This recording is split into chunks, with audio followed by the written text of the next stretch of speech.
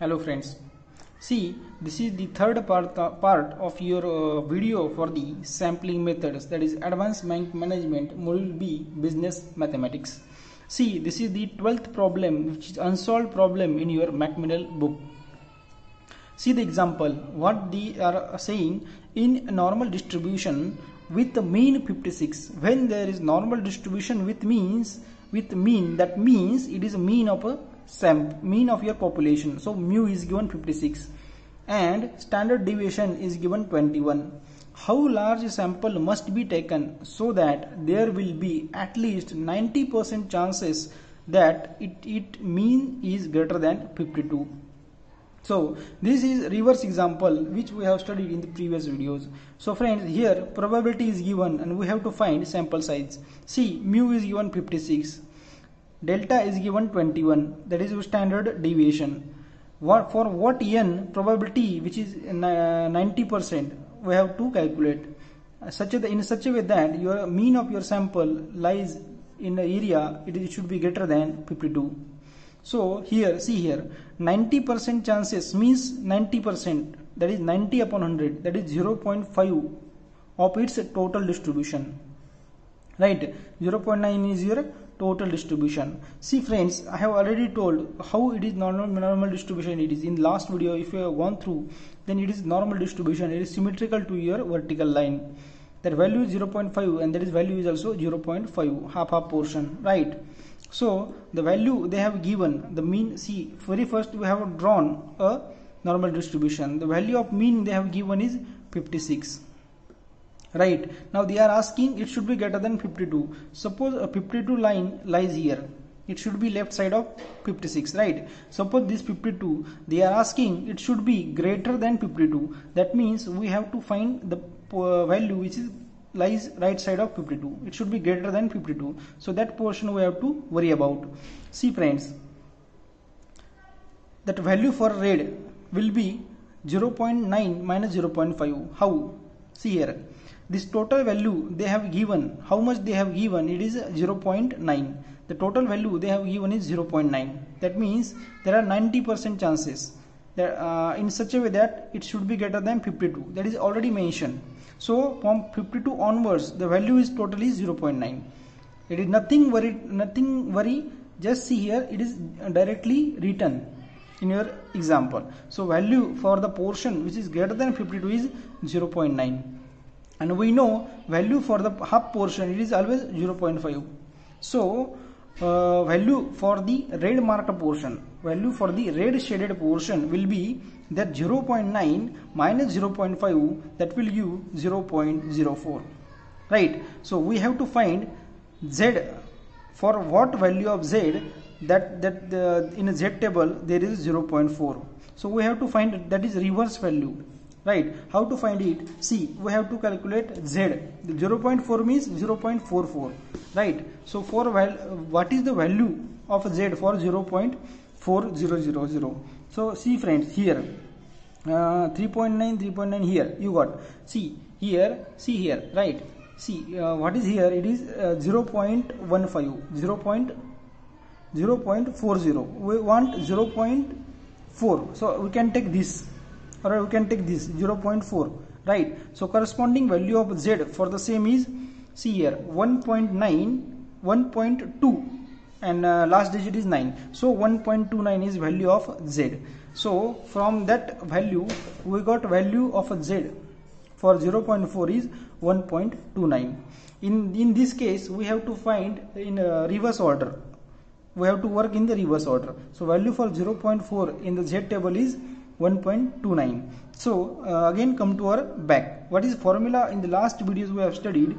Z is equal to x bar minus mu upon sigma x. Here we know what we know sigma x nothing but your sigma upon under root of n. You can call sigma or delta doesn't mean it right? So your delta upon under root of n is nothing but your delta x. So put the value of delta x then uh, we have to calculate n. So when n is in denominator it will go in numerator. So z will is equal to x bar minus mu upon delta into under root of n. So we have to find n. So bring n at a one side. So n will equal to delta into z divided by that will go in the left side it will get divided. So x bar minus mu so under root of n is equal to z into delta divided by x bar minus mu. So what is value of z that we have already calculated? Value of z is 1.29 that is z factor we have calculated reversely not here. When you have to calculate sample size you have to go in reverse order. So 1.29 we have calculated that uh, sigma it is 21 that is directly given here. See sigma that is delta is 21 and x bar is given 52 x bar is given 52 and mean is given minus mu mean is given 56 so put the value. You will get 27.09 divided by 52 minus 46 you will give minus sign. You have to ignore minus sign. You will get 6.77 is equal to under root of n. So to remove under root sign you have to square both the side. After squaring you will get 45.83 45.83 when you get 44 uh, 45.83 uh, after squaring that means that when your sample is greater than 46 your desired result is that chances of 90% probability and uh, mean of your sample is 52 so we have calculated sample size here that sample should be greater than 46 so friends this is the 12th example. Now we will move to the next example. See in 30 in 13th example what we want to see what we are actually going to see see the example in the normal distribution with the mean 375 in the normal distribution with the mean 375 and standard deviation is 48 how large a sample must be taken so that so that there will be at least 0.95 that sample mean falls between 370 to 380 very first when the, this type of numerical came in your examination just write down what you have given. What you have given in your examination. Uh, what is given in your numerical just focus on that. See here mean 375 that we know mean means mu that is 375 it is given right?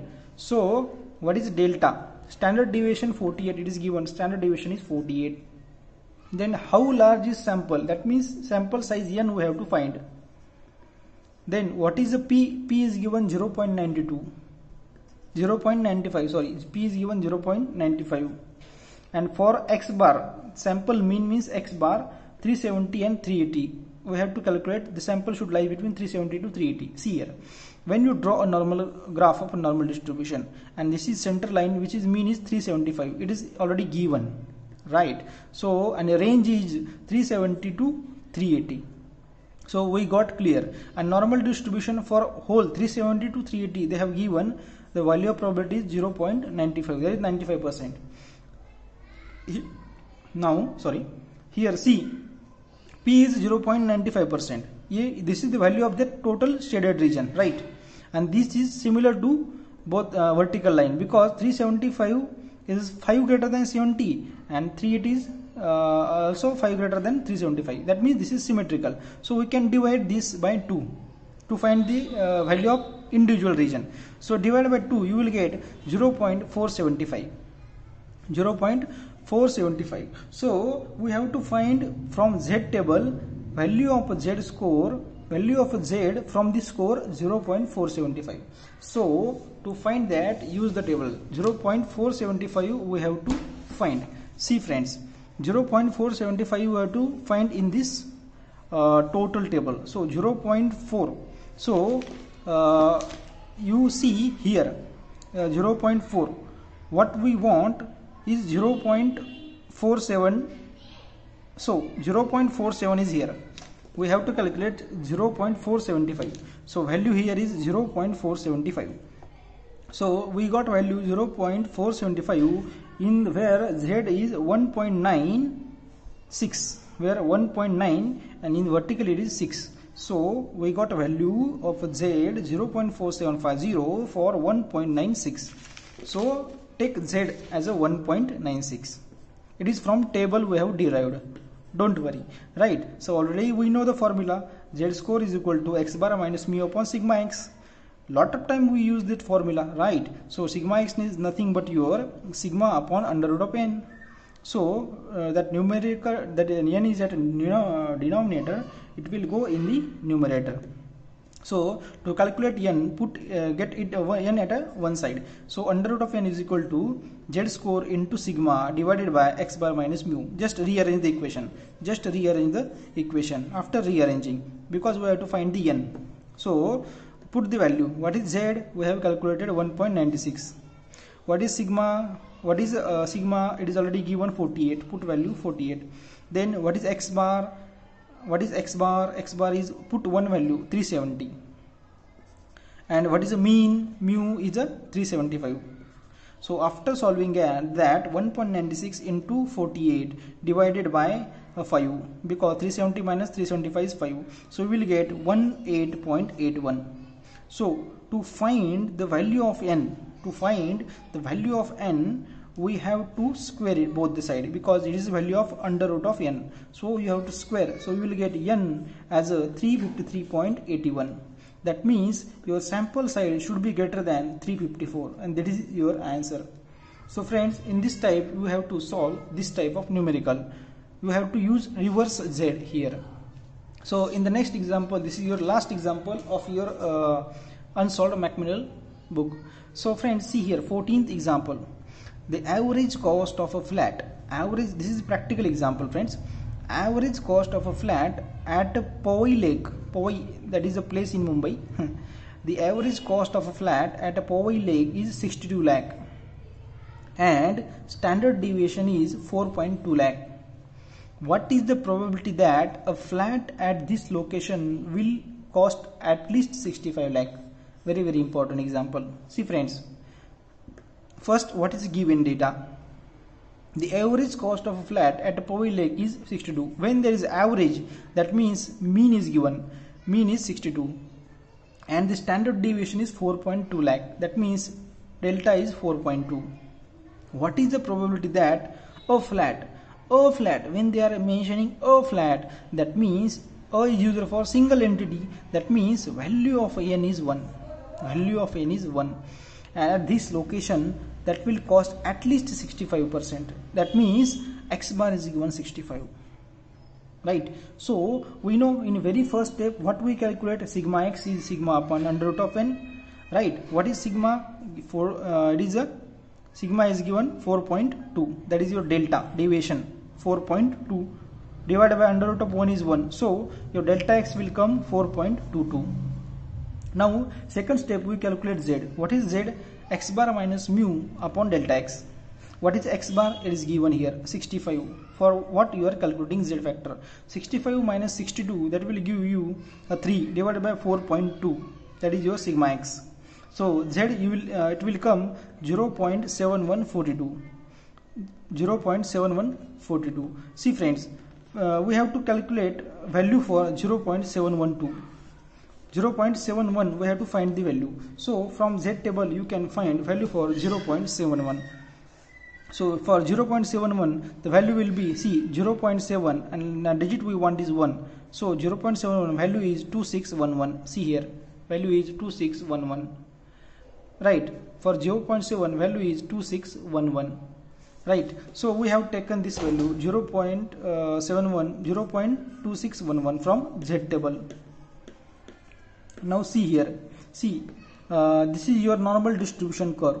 This is your mean 62 which is already given here. This is the value of 65 it is right side of 62 you can imagine anywhere uh, but it should be right side right?